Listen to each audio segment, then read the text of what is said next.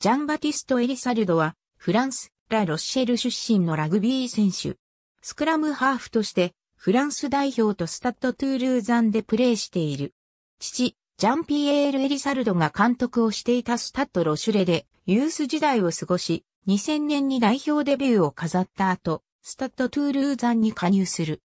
同クラブで、エリサルドは、スクラムハーフ、スタンドオフのどちらのポジションでプレーするにしても、ヤンドレーグやフレデリック・ミシャラクという強力なライバルとの戦いを強いられることになる。この争いに負けて、2003年のハイネケンカップの優勝に貢献することができなかった。同年のトップ14決勝には出場したが、スタッドフランセパリに敗北した。2004年にはハイネケンカップに出場。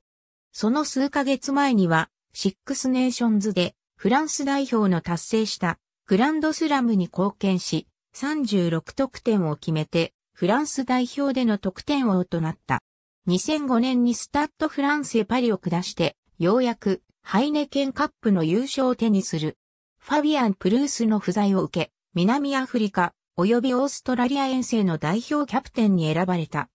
この2005年の秋の遠征で長及び、オーストラリアに勝利し、エリサルドは優れた才能とチームメイトであるフレデリック・ミシャラクとの相性の良さを示すことができた。2000年3月4日のスコットランド戦で初キャップ。ありがとうございます。